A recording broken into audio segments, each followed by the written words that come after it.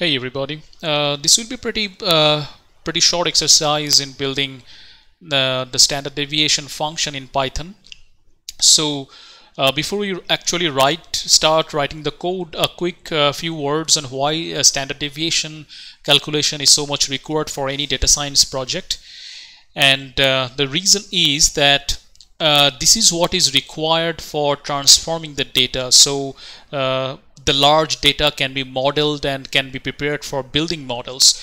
And the most uh, time consuming aspect of uh, any data science project is this uh, uh, tra data transformation. Uh, however, even before you begin the transformation part, you need to understand the data. And by understanding the data, I mean you have to know its key identifying characteristics such as uh, its statistical feature, its um, uh, mean, standard deviation, what kind of distribution it follows, for example, normal, Poisson, log normal, etc. Uh, let's take a classic example of how this is implemented uh, by using standard deviation to clean up the data and to remove outliers. Uh, say for example, we have millions of data points with significant degree of outliers and the outlier portion of the data are the ones with a very high or very low values. In this case I need to remove these outlier values because they will make the scales on my graph unrealistic. The challenge was that the number of these outlier values will never be stable. Sometimes you would get all the valid values and sometimes these erroneous data points would cover up as much as 10% of the overall data points. So uh, a very regular, the common approach we can take in this kind of circumstances is to um, remove the outlier points by eliminating any points that are above mean plus 2 standard deviation and any points below mean minus 2 standard deviation before plotting them. So, uh, okay, so this was uh, a little bit background on the standard deviation. Now let's um, quickly start on the actual code. Um, okay, uh, so I'm for the uh, for the ID I'm using PyCharm. is square root. Let's first define the function mean uh, because that will be required. On the right side you can obviously see the um, uh, standard deviation formula. It's a very classic and uh, very well-known formula. So uh, the main thing is before I go to the actual standard deviation calculation the function needs a mean uh, mean function. So let me define the mean function here.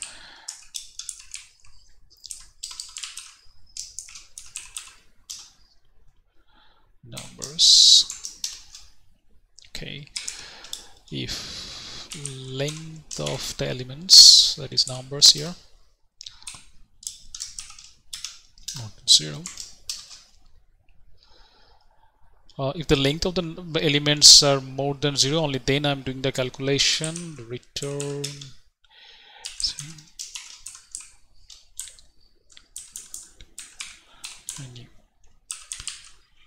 yes numbers divided by uh, the total number of elements. Length numbers okay.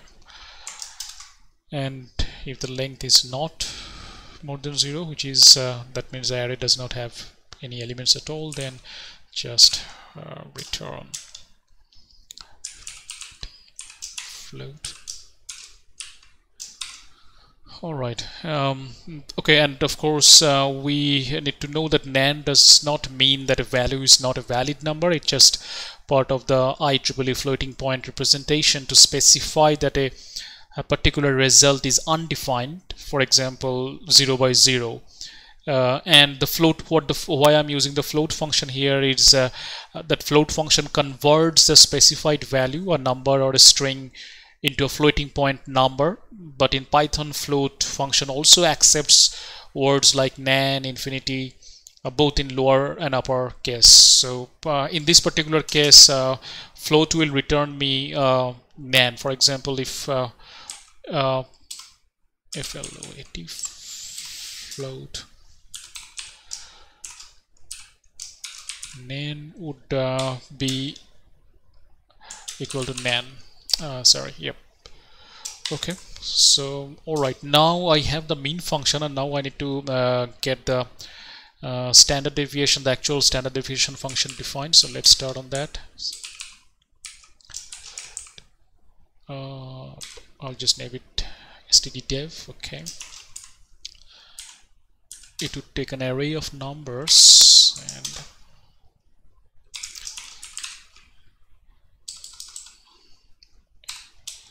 len numbers.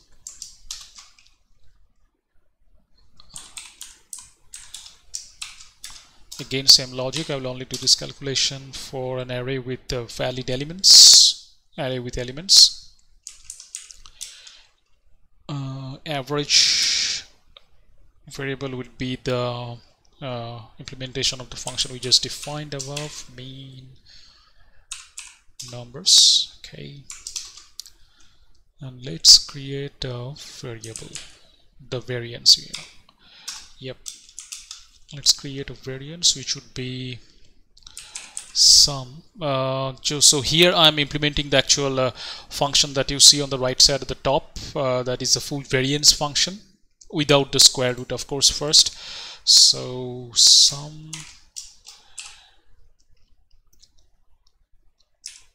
i i is the current element minus I have to get the mean as avg and I have to square it for i in numbers. Okay. Oh so sorry I made a mistakes here. So this should be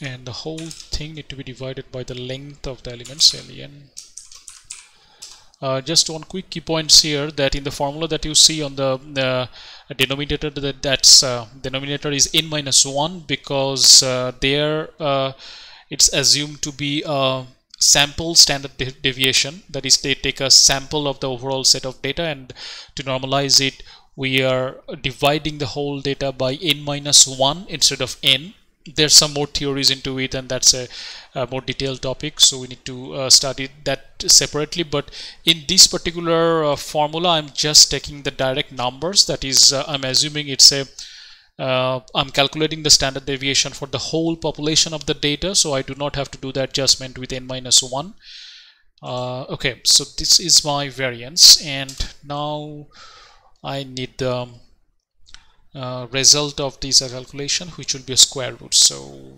s d n d a d standard deviation equal to sqrt var ends and that's all I need and I'm just going to return it. Return standard deviation. Else return float float. The same logic here. If uh, the array does not have any elements then it's an undefined situation. We're just returning float nan. Okay. Now let's um, try with a um, try this try implementing this function. So I am first defining an array. I already have an array. I'm just copying that whole array. So this is my data set. It's uh, just an array with numbers and we are going to calculate print. I need std okay so we are going to just implement this function. Let's run it. Okay so the result is one 0.290999 etc okay so all right. So this is a first implementation of our pretty simple there is no complexity at all in this and pretty mm, uh, uh, readable code uh, for calculating the standard deviation. Okay so till now uh, we calculated the standard deviation using plain vanilla python but now let's make use of uh, first uh, I'll make use of the statistics module of Python and then also pandas and numpy. So let's start with statistics. Um, import statistics first.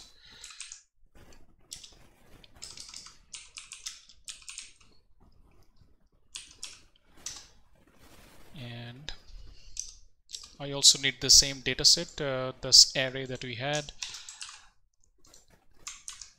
and note that statistics uh, is quite useful for uh, general simple statistical calculations. But of course it's not comparable with the more powerful uh, pandas and numpy uh, packages. But for general small calculation statistics is quite useful and handy. So let's uh, I will just directly print here because statistics has its built-in function for calculating standard dev. Uh, so I will just print statistics dot and the function for statistics is um, stdev and that takes the array. Okay let's run this. Okay note I got the standard deviation here as uh, this one. And note that for the previous our uh, uh, plain vanilla we got a standard deviation of 1.29099 and so on and now we are getting slightly different. And uh, I will revisit this point uh, in a short while but let's uh, move on for now. Uh, so that was statistics. Now let's do the same thing with pandas uh, and for pandas I need to import. Okay let's increase the size. Pandas as pd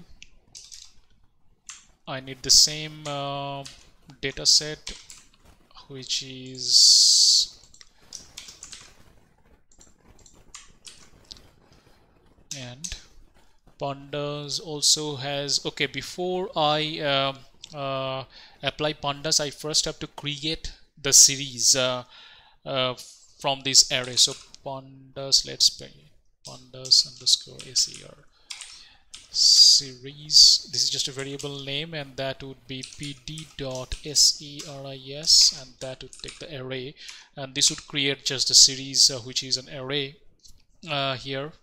And uh, now I will I will directly print the function for um, standard deviation of pandas and that would be pd sorry uh, I have to apply that function on this series. So that would be panda series dot std that's the name of the function.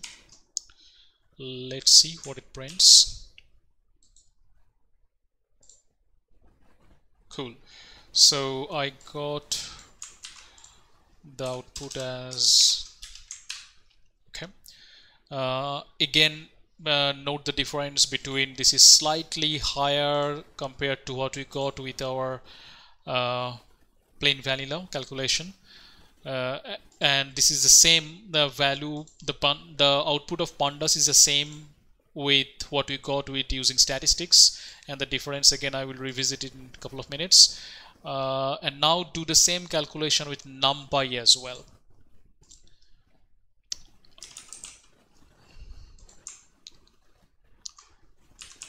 import numpy as np I need the array data and uh, numpy also has a ready-made function. I can directly print it. P np dot the function name is std that would take the array. Let's see what if I run this. Okay cool. I got the return as this. Okay now uh, why we got the difference is mainly because of uh, the uh, topic we are discussing at the start of the video that uh, the denominator of the standard deviation calculation that you see on the right side is n minus 1 and that's for sampling distribution.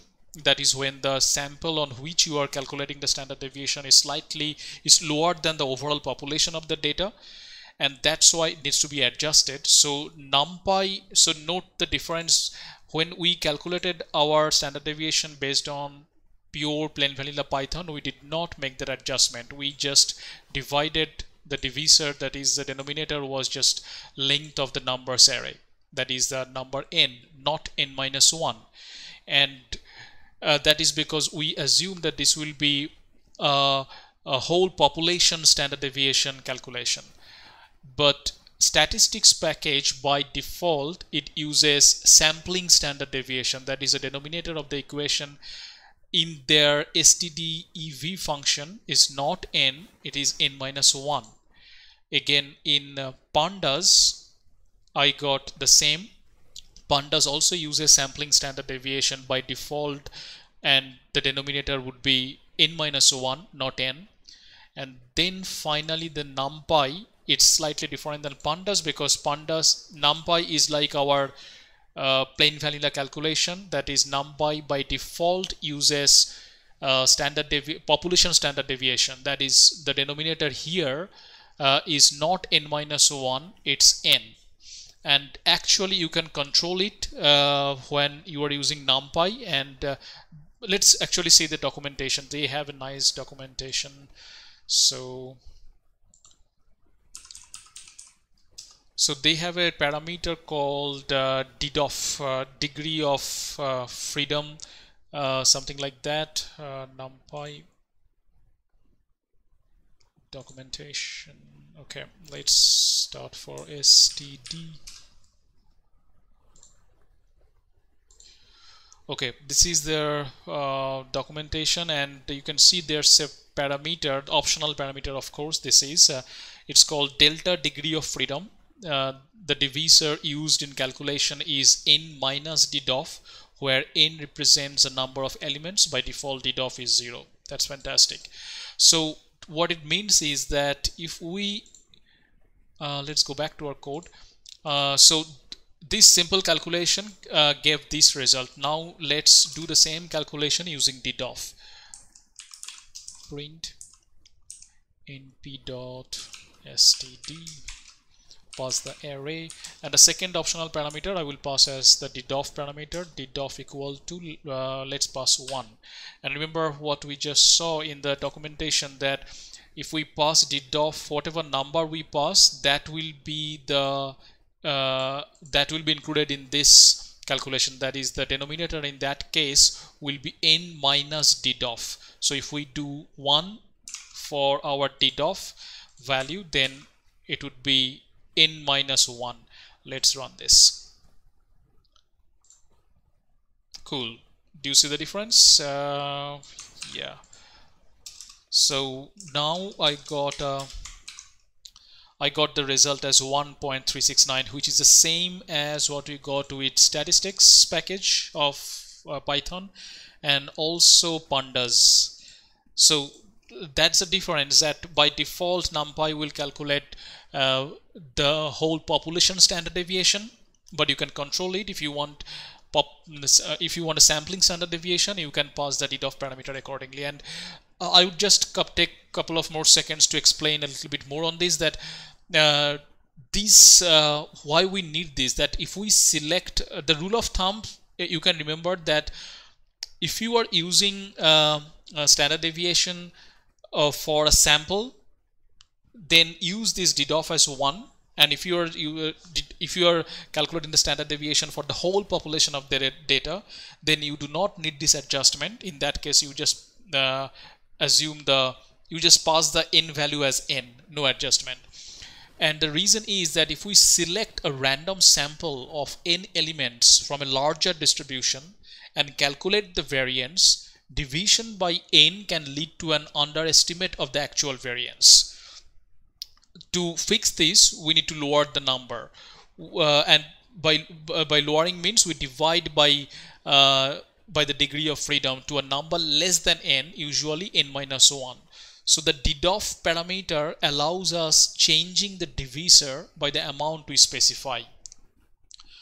Uh, okay, so I think uh, that is all about this video. Thank you very much for watching.